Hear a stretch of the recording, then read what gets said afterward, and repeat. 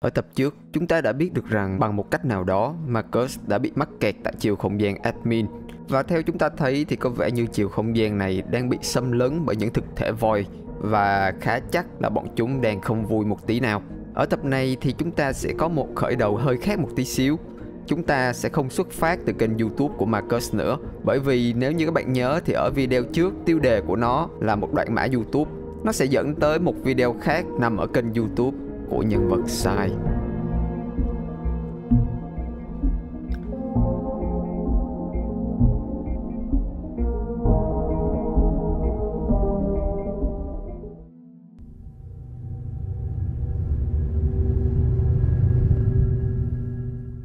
Video này có phần mô tả khá thú vị, dịch ra như sau. X mang một người bạn tới. Tôi không nghĩ là họ thích như thế. Họ tới và phá vỡ những bức tường. Ở đây có 5 thực thể. Hai trong số đó là ba thực thể kia bao gồm Sao, Mark 101 và X. Tất cả mọi người đều biến mất.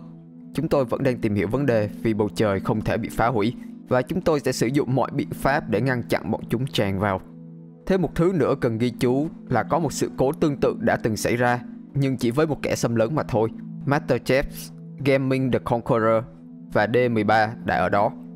Đoạn cuối phần mô tả này là một số những từ ngữ ngẫu nhiên mà hiện tại chúng ta vẫn chưa thể hiểu được. Đoạn video bắt đầu bằng góc nhìn của Sai. Trước mặt cậu ta là hai nhân vật mới được gọi là D1 và D2, hay đọc tiếng Việt là D1 và D2 đi cho dễ.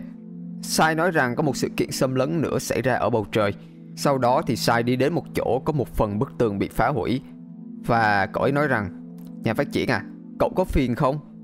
Lúc này thì có vẻ như là Sai đang nhờ những nhà phát triển là D1 và D2 sửa lại bức tường. D1 sau đó đồng ý và sửa lại bức tường khá là nhanh chóng. Sai sau đó tiếp tục nói với D1 và D2 Bức tường đã được niêm phong. Theo như X thì có 5 thực thể góp mặt ở đây Bao gồm Mark 101 X, Sao Còn lại là Subjugate và Integrity. Integrity thì quan sát ở trên máy tại điểm đăng nhập, còn Subjugate là kẻ xâm lấn. Mình sẽ dừng lại ở đây một tí và giải thích về những cái tên của các thực thể voi ở trong series này. Cho tới hiện tại thì chúng ta biết được hai thực thể có tên bao gồm Integrity, dịch ra tiếng Việt là toàn vẹn, được thấy ở hầu hết những lần xuất hiện trong các video của Marcus và là thứ đang đứng ở trên mái ở trong video này. Còn Subjugate là thực thể được thấy ở bức hình được kéo sáng và là thứ đã tấn công X ở video trước. Được rồi, chúng ta sẽ cùng tiếp tục video. Sai sau đó mở ra một quyển sách mang tên là Thế giới của chúng tôi. Quyển sách này được viết bởi Sao. Sao ghi rằng, tới giờ thì kế hoạch của chúng ta vẫn tiến triển tốt.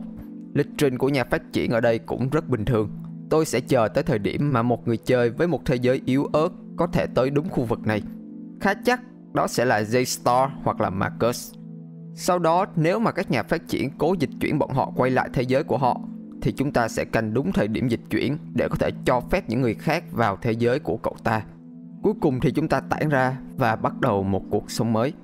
Sau khi đọc xong thì một nhân vật có tên là biểu tượng Hy Lạp tiếp theo xuất hiện. Chúng ta có thể đọc biểu tượng này là Double Sai. Cậu này hỏi Sai rằng, cậu có thể cho tôi biết nội dung là gì được không? Sai lúc này chần chừ và trả lời là, một kế hoạch gì đó. Có lẽ chúng ta không nên đọc thêm. Khá là rủi ro. D1 nói rằng, chỉ là một quyển sách Sai nói là không đọc nó thì cứ như thế đi Và Double Sai đồng tình với điều đó Tiếp theo thì Sai quyết định tiếp tục công việc của mình với phiên bản mới và thoát game Video này dừng lại tại đây. Chúng ta cùng nhìn lại một tí. Vậy là Marcus là người chơi đang sở hữu một thế giới yếu ớt. Tuy chưa hiểu rõ yếu ớt ở đây nghĩa là gì, Nhưng có vẻ nhờ đó mà kế hoạch của Sao có thể được thực hiện Và giúp được Sao thoát khỏi chiều không gian admin. Cái giả thuyết này thì vẫn khá mơ hồ nên mình nghĩ chúng ta vẫn cần tìm hiểu sâu thêm về câu chuyện này.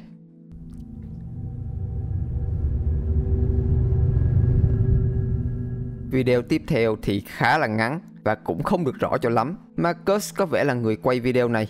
Trong video chúng ta thấy được nhân vật Sprite đang có vẻ như khá tức giận thông qua một câu chửi vô cùng hòa mỹ của cậu ta.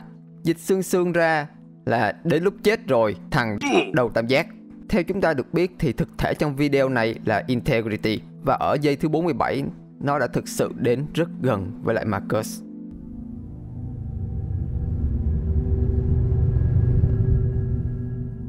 Video lần này là ở kênh Mark 101 Chúng ta sẽ được diện kiến với rất nhiều những nhân vật khác nhau Một vài nhân vật đã từng được nhắc tới trong các video trước đó Nửa đầu của video thì chúng ta thấy được Marcus đang chuẩn bị những trang bị và vũ khí đi kèm với việc xây dựng một số khu vực mới. Vẫn chưa biết được cậu ấy đang phải đề phòng chuyện gì đang xảy đến, nhưng có vẻ đây sẽ là một sự kiện rất là nguy hiểm. Đến buổi đêm thì Marcus cùng với lại một vài người bạn của cậu ấy đứng lên trên cái sàn bằng gạch mà cậu ấy đã xây trước đó. Cả nhóm nhìn lên mặt trăng và bắt đầu tấn công. Lúc này thì chúng ta thấy được mặt trăng đã bắt đầu có những chấm đỏ kỳ dị. Mình nói tấn công ở đây có nghĩa là bọn họ đang tìm cách bắn những cái mũi tên lên trên mặt trăng, cho dù là những người xem chúng ta biết điều đó chả giúp ích được cái gì cả. Đến phút thứ 9 thì cả nhóm bất ngờ và chat lên liên tục. Cái quái gì vậy? Một thứ màu đỏ bắt đầu xuất hiện ở trên bầu trời. Mặt trăng lúc này hơi khác một tí so với lại lúc trước. Người chơi 2008 Score nói rằng, mặt trăng có vẻ như đang tới gần hơn. Ở 10 phút 12 giây, người chơi Electric yêu cầu mọi người hãy vào nhà ngay lập tức. Gracious thì liên tục kêu gọi giúp đỡ. Gaming the Conqueror thì nói rằng đó là tên hacker. Đến đỉnh điểm của sự hoảng loạn thì Mark chốt hạ bằng một câu là có vẻ là đã quá trễ rồi. Khi họ đang trên đường vào nhà thì chúng ta để ý thấy được những khối đá ban đầu đã bằng một cách thần kỳ nào đó chuyển thành những khối xám. Chúng ta có thể thấy được những lời cuối cùng của nhân vật Sprite là nó đang tới gần hơn và tiếng la thất thành của Score. Chuyện gì đang xảy ra với tất cả mọi người? Mặt trăng có đang tiến gần hơn thật không? Chúng ta sẽ cùng tìm hiểu điều đó ở video sau. Nơi mà tất cả mọi người, bao gồm Marcus, cùng với những người bạn của cậu ta đột nhiên bị dịch chuyển tới chiều không gian của admin, khu vực mà đáng ra bọn họ không được đặt chân tới. Thêm một cái nữa mình muốn nói đó là mình biết những cái video của mình không được dài cho lắm. Bởi vì thực tế thì những video này chỉ có một mình bản thân mình tự quay và tự chỉnh sửa mà thôi. Nên là nó sẽ tốn rất nhiều thời gian nếu như mình muốn làm video dài. Mong anh em thông cảm điều đó. Chúc anh em có một buổi tối tốt lành. Hẹn gặp lại anh em vào những video sau. Bye bye.